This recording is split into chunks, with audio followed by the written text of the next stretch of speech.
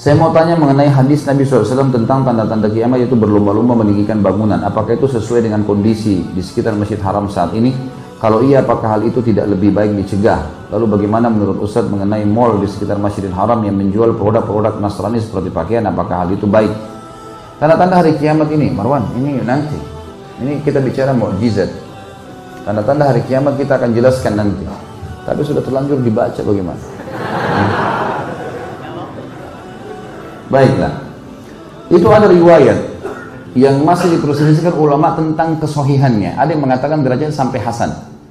Kalau akan terbangun bangunan-bangunan besar di sekitar Masjidil Haram.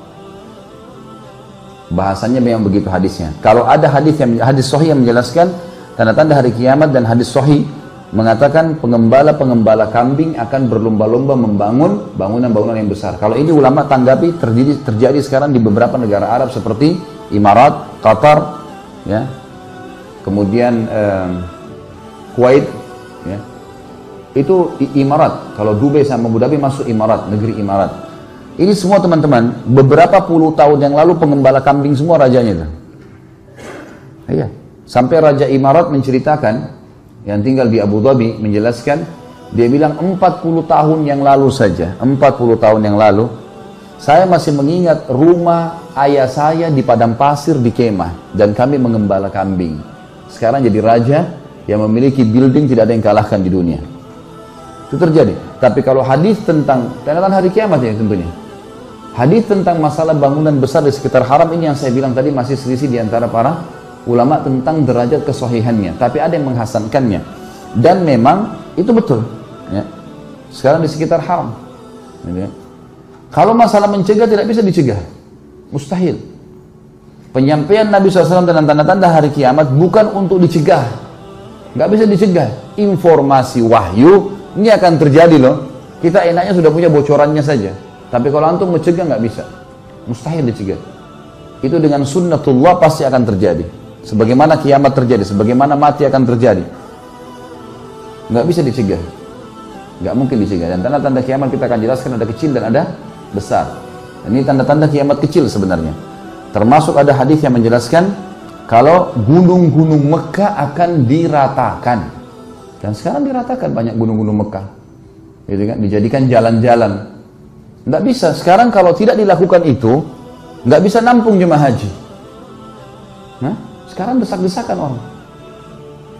Kalau tidak dibongkar gunung Umar, ada gunung, ada Jabal Umar namanya, yang sekarang dibongkar oleh kerajaan Saudi itu, dibangun bangunan itu memang nggak bisa, nggak ada lagi perluasan ke mana. Karena Ka'bah itu teman-teman berada di lembah ya. Kalau antum tahu gambar aslinya, itu ada gunung besar Aswaida dengan Abu Kubais, dua gunung besar itu lembahnya, Ka'bah tengah-tengahnya. Jadi memang gunung ini harus hilang ini, nggak bisa enggak baru bisa perluasan kota di sekitar situ. Apalagi Masjid Haram sekarang tiap tahun bertambah orang. Masjid Haram sekarang dibangun kalau nggak salah enam kali lipat dari jumlah yang dari luas yang sebenarnya yang ada yang sekarang lebih luas. Begitu juga Masjid Nabawi dibangun. Jadi memang itu terjadi dan itu tidak mungkin bisa dicegah. Kalau masalah di sekitar Masjid Haram orang jual produk Nasrani, nggak ada masalah jual produknya orang kafir. Selama produk itu halal. Nabi SAW dan para sahabat interaksi dengan Yahudi dalam transaksi jual beli. Ya. Nabi SAW dalam hadis Bukhari pernah utang kurma malah dengan orang-orang Yahudi. Boleh antum bermuamalah dengan orang kafir. Siapa yang larang nih? Boleh bermuamalah dengan mereka selama bukan muamalah yang haram.